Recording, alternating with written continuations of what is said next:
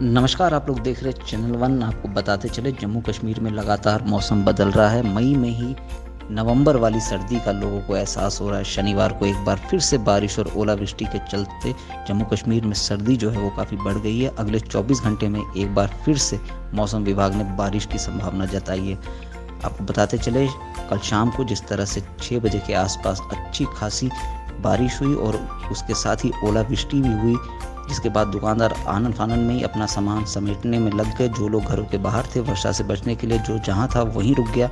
वर्षा कुछ कम हुई तो बाहर निकल, निकले लोगों ने घरों की तरफ़ रुक किया, जिससे बाज़ार की रौनक गायब हुई। और इसके साथ ही साथ जो है, बिजली की आपूर्ति नेटवर्क भी जो है वो काफ़ी प्रभावित रहा। तेज़ रफ्तार हवा से बिजली के खंभे और तार भी टूट गए। इसके साथ ही कई जगहों पर पेड़ और उसके तने टूटकर गिरने की वजह से लाइनें खराब रही। जिसके लिए बिजली विभाग लगातार कोशिश कर रहा है कि जल्द से जल्द जो है वो बिजली की आपूर्ति बहाल की जाए, लेकिन मौसम विभाग की माने तो आने वाले कुछ दिनों में मौसम जो है इसी तरह का बना रहेगा। पर्यटकों के लिए भी मौसम विभाग ने ये गाइडलाइन जारी की है कि वो अपने साथ जो है वो गर्म कपड़े भी साथ लेकर के चले और साथ ही साथ खान पान का भी जो सामान है उसको भी साथ लेकर के चले।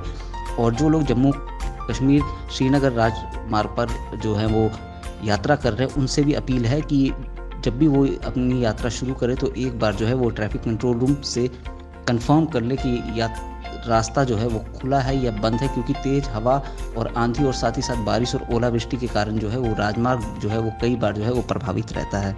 लेकिन एक बड़ी अपडेट कि आने वाले कुछ दिनों में मौसम जो है इसी तरह का रहने वाला है।